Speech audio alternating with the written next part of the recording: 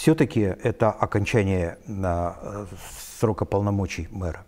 И вот здесь интересно ведь даже спросить, а, а что вот было для вас самым волнительным, самым главным достижением, вот если есть вот такой вот, может это даже эмоциональный какой-то ответ будет. Пожалуйста. Я думаю, что самая важная э, для меня, как для руководителя города, задача с тем, чтобы эм, локальные какие-то текущие задачи были долгосрочной перспективы. Потому что очень важно видеть развитие города на перспективу, определять эти, эти траектории, а не находиться, в, так сказать, в режиме текущего Текучки. функционирования. Да, да. да. И 2020 год, несмотря на всю сложность реализации множества проектов, он все-таки стал той отправной точкой, когда мы смогли не только воплощать эти рабочие, текучие, так сказать, вопросы и проекты, но и э, сделать заделы на будущее. Если мы ремонтировали набережную, то мы намеренно обходили определенные участки, которые нуждаются в капитальной реконструкции и в хорошем проекте. Работа над этим проектом уже началась, и, собственно, косметика по а, другим а, частям была возможна, мы ее выполнили, а далее предстоит а, серьезное берегоукрепление нашей набережной и, возможно, ее продолжение. Такие амбициозные планы мы видим на перспективу.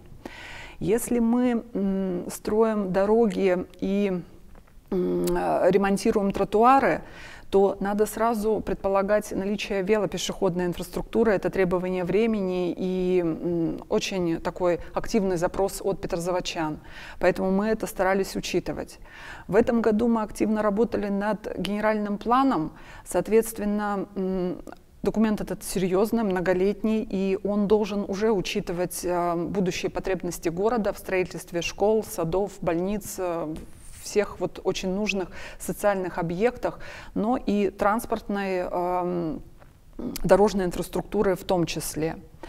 Поэтому вот э, Стратегия социально-экономического развития, которая действует в нашем городе до 2025 года, она корректировалась нами ну, практически ежеквартально. Угу. И это происходило не от того, что мы, знаете, как вот снижали амбициозность своих задач, мы наоборот э, ставили перед собой э, новые задачи и проекты в силу того, что федеральные и республиканские ресурсы позволили нам в 2020 году очень многое выполнить из стратегии. Когда стратегия разрабатывалась в 2015 году, я участвовала тоже в этой работе вместе с Петрозаводским городским советом и администрацией. Нам казалось фантастическим выполнение этих задач. Но совершенно правильно мыслить амбициозно, и время все-таки учитывает эти потребности, а, учитывают это и вышестоящие органы власти. А, тогда казалось это нереалистичным, но сегодня мы получили достойное финансирование на реализацию всех этих проектов и, соответственно, можем уже проектировать более сложные задачи на перспективу не только 2025 года, я думаю, что на ближайшие 25-30 лет. Ирина Юрьевна, я, признаться, думал, что вы мне назовете какой-то конкретный объект. Я скажу, что я услышал. Я услышал, что а, главное достижение – это то, что аппарат администрации научился иначе работать. Аппарат администрации научился строить долгосрочные планы, а не думать вот действительно о том, что вот сегодня есть освоение там средств такого-то участка, и давайте это сделаем. Нет, вы, вы вчера на сессии Петросвета даже позволяли себе цифры 30, 40 лет. Я так первый раз вот услышал, что администрация может такие э, планы строить на столь долгосрочную жизнь. Да? Я правильно вас Совершенно услышал? правильно. Так Спасибо. и есть.